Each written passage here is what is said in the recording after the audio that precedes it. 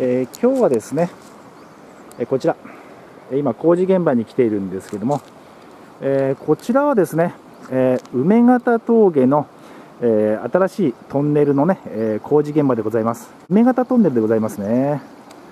梅形トンネル、仮称ですね。日の出川のね、トンネルの出口となる予定でございます。あちらね、今、ユンボがございますが、えー、もう山肌、のり面ですね、もうコンクリートでね、工事をしておりますね。はい。えこちらがね、日の出川のえトンネルの出口となる模様でございます。はい。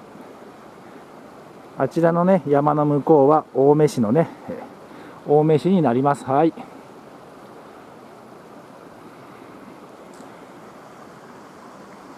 えー、工事中でございますね。こちらがね、えー、このトンネルがね、できれば、梅形トンネルができればですね、万が一ここのね、こちらの、えー、この平井川、え台風19号などでですね、え氾濫した平井川、この平井川がね、氾濫しても、え下流でですね、道路が寸断されても、えこちらのですね、梅形トンネルで回避してですね、アクセスできるようになる次第でございます。はい。非常にですね、便利なトンネルだと思いますね。はい。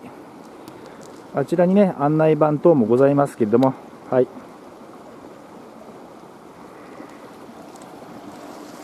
えー、こちら、えー、平井川、だいぶですね、上流の方に来ますと、えー、川幅もね、狭くなってまいりますね。はい。一日もですね、早くですね、えこちらの、え梅形トンネル、え開通していただくとね、本当にですね、アクセスが良くなりますね。はい。現場からは以上でございます。街を良くすると、補正だけでございました。